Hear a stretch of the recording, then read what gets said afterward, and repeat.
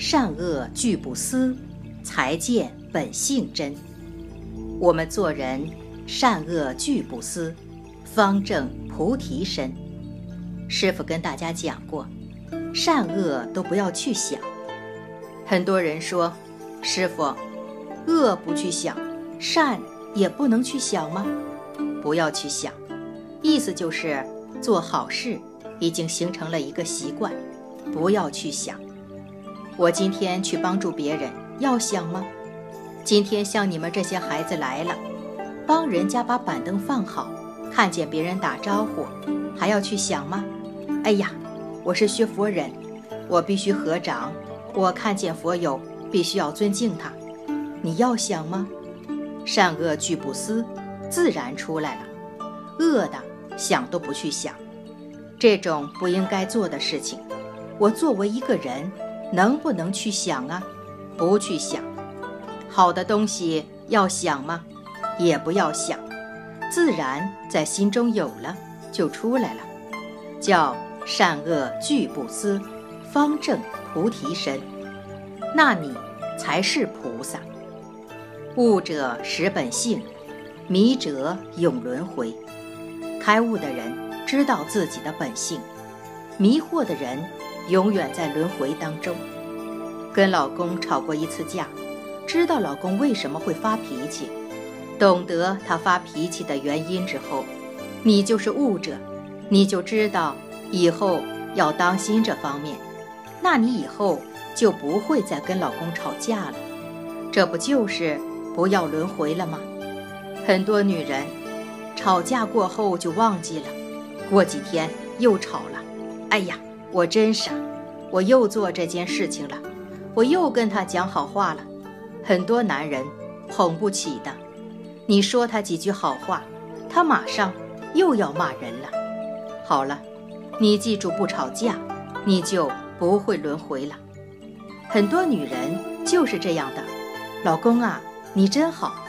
好了，你的骨头一轻，他就又来劲了。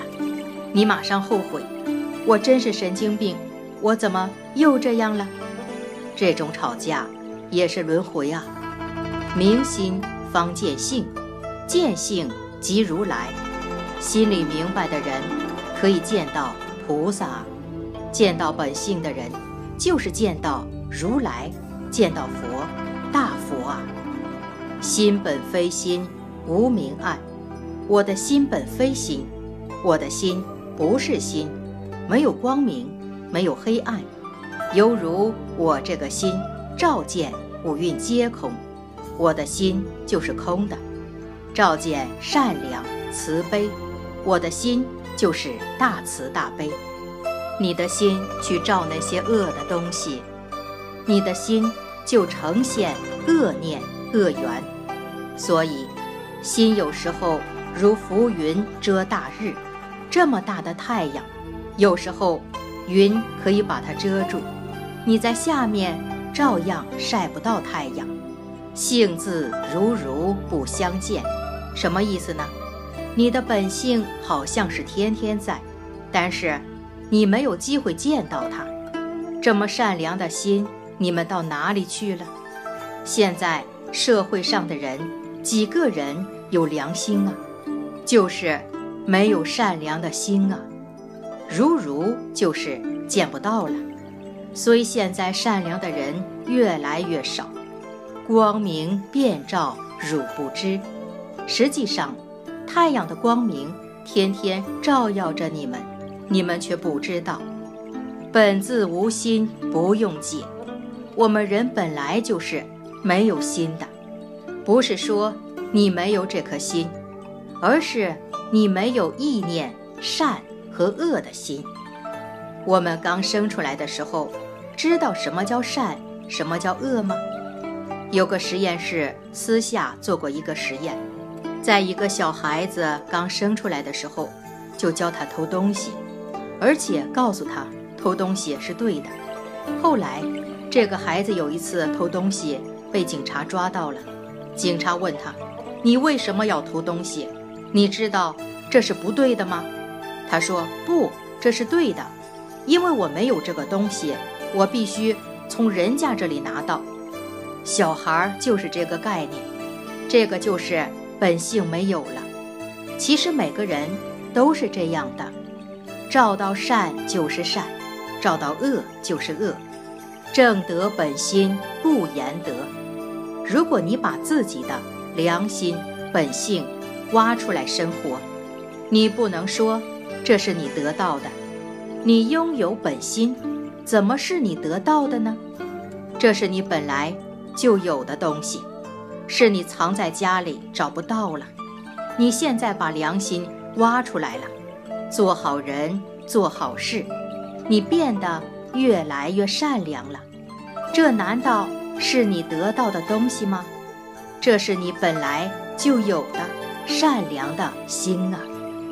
学佛人不要因为那些欲望而迷失自己的真性，欲望会让你们迷失自己的真性，你们会找不到回家的路。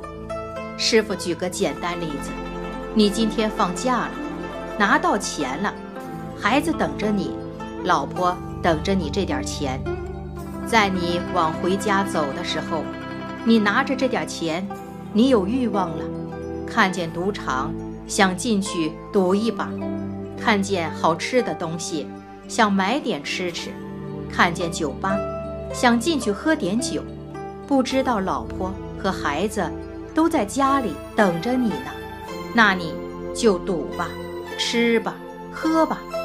喝的稀里糊涂的，把钱用完了，从酒吧里出来，风一吹，人清醒了，突然想起，我怎么回家啊？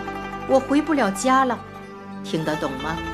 都是欲望害了你。很多人懂得克制自己，明白这点钱是我救命的钱，我一定要拿回家去养老婆、养孩子，真的不能乱来的。希望你们要懂得，我们做人不能迷失自己的真性，我们要理解宇宙的真谛。宇宙的真谛就是让我们觉悟，不要被这个世界所迷惑。如果我们生生世世就在人间轮回，我们就迷失了佛的本性。学佛也是这样，沉迷在人间的欲望之中。